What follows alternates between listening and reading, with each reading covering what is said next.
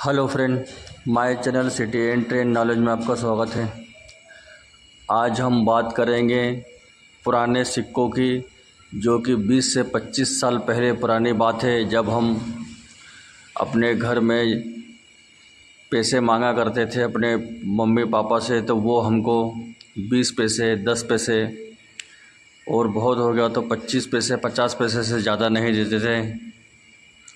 और एक रुपया को तो बहुत बड़ी रकम माना जाता था।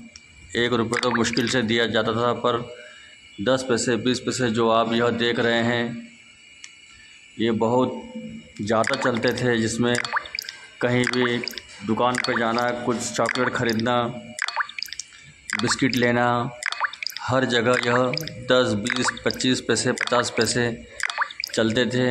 पर अब यह हमें देखने को नहीं मिलते क्योंकि यह सिक्के, पुराने सिक्के जो हैं, बंद कर दिए गए हैं। अब सीधे एक रुपया चलता है और पाँच रुपये का कलर चलता है। बाकी के यह सब जो भी हैं, बंद कर दिए गए हैं। अभी पुराने यादें हैं जो हमें बस पुराने समय की याद दिलाती हैं।